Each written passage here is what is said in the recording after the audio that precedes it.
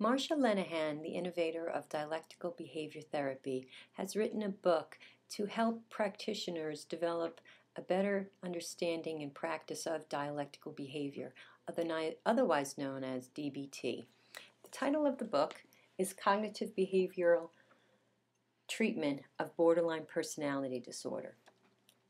There's an accompanying workbook, but uh, today what I have with me is the actual textbook.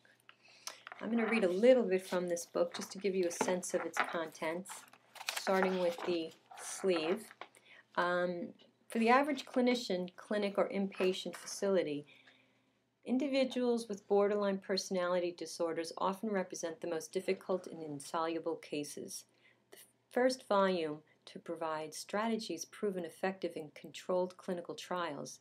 This book is a comprehensive integrated approach to therapy with this population. Marsha Linehan presents specific guidelines that creatively combine the best elements of behavioral, psychoanalytical, strategic, and other commonly employed modalities. A clinical innovator, she has analyzed borderline personality disorder into its component parts and developed a systemized approach to each of them.